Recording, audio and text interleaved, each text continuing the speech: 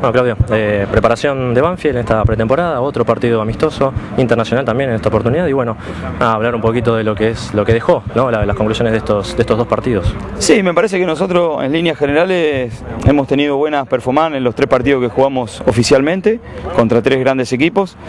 Eh, creo que fuimos completando los, minutos de juego que requeríamos. Eh, nosotros estamos tratando de llegar a una puesta a punto que es para el 7 de febrero. Estamos conformes, nunca estamos satisfechos, pero estamos en, búsqueda eh, de un equipo que pueda empezar y que pueda eh, competir a la altura de cualquiera. Este, en, lo que, en lo que vimos hoy fueron, fueron prácticamente tres formaciones, dos equipos y medio, con un tiempo de 50, dos dividido en 25 donde el partido terminó 0 a 0, con muchas situaciones de gol a favor nuestras y, pocas en nuestro arco. Y en el segundo tiempo, en el segundo partido fueron dos tiempos de 40. Ahí este, dividimos, en el medio tiempo dividimos algunos cambios y, y bueno, el equipo pudo ganar, pudo agarrar confianza, pudo concretar y eso también es muy bueno para agarrar confianza y para, y para que los jóvenes, que son los que acompañan a los más grandes, puedan tener también ese, esa sensación de, sentirse ganadores. ¿no? ¿Notas que se va viendo el funcionamiento del equipo, se va acoplando a lo que vos buscás?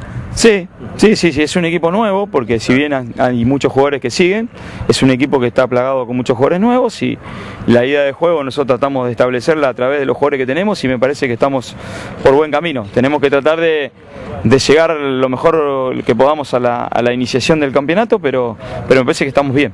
¿Con el tema refuerzos es lo que buscabas? Sí, sí, fuimos coherentes con, con los pedidos. Nosotros tenemos que completar la lista de refuerzos en caso de que se vaya Víctor, pero por el momento estamos bien. Hemos traído jugadores que han sido titulares en sus equipos y que, y que han tenido un recorrido importante a lo largo del fútbol argentino. Así que eh, es eso lo que buscamos y es eso lo que pudimos incorporar. Contaste con bajas, si bien se sabía que se iban a ir jugadores de Banfield, hubo algunas bajas inesperadas, ¿no es así? Bueno, sí, lo de Casares fue inesperado, pero bueno, hay que saber este, asimilar las cosas. Lo de Bolonia también, pero bueno, hoy tenemos un arquero de primer nivel que es Hilario Navarro y que seguramente va a estar a la altura de las circunstancias. ¿Lo de Víctor, lo de Víctor sería otra baja inesperada? Bueno, en el mercado de pases de fútbol argentino uno tiene que estar previsto a cualquier situación. Este, sabíamos que, es más, hasta, hasta, hasta que no termine el cierre del libro de pases, tenemos que estar atentos a cualquier situación es un jugador que tuvo un muy buen nivel, que es requerido y que tiene absolutas condiciones y, atributos para poder jugar en, en, un club grande del fútbol argentino. ¿Hoy participó en el segundo equipo? ¿Fue por alguna razón en particular? No, porque bueno, como está con el tema de, su situación, del pase, que se va, que se queda, yo llegó, no llegó tarde, pero se presentó 10 minutos tarde a la entrada en calor y, como dividimos el grupo en dos, en dos tácticos, este, él estaba en el primer grupo, pero bueno, decidimos que juegue el segundo partido. Eh, en ambos equipos siempre se vio y se ve a lo largo de este tiempo la participación de los juveniles, ¿no? que es el recambio que está teniendo Banfield y a los cuales van incorporando de a poco también, eh, acoplándose con hombres con experiencia, digo, en el ataque Caso Silva, en el fondo con Mateu, me parece que por ahí viene eh, el camino, ¿no? Sí, hay futuro, hay presente, hay jugadores que, están muy bien, que van a hacer recambio del equipo y, son los que completan la lista de jugadores. El primer equipo es, es, prácticamente la misma cantidad, el mismo promedio de edad, lo que falta quizás es el reemplazante de Domingo, pero hoy lo está haciendo muy bien Lucho Gómez, Colela, Cecchini, van a ser competidores de alto nivel para poder quedarse con, esa, con ese lugar. Obvio, si bien en estos partidos no se analiza lo que es la parte de resultados, em, te escuchaba hablar recién del tema efectividad, ¿no? que Banfield no, ha convertido y bueno, es un, es un tema también que se, que se ve. Pese a que tiene situaciones. No, no, es, es eso, nosotros generamos situaciones y nos está faltando más efectividad.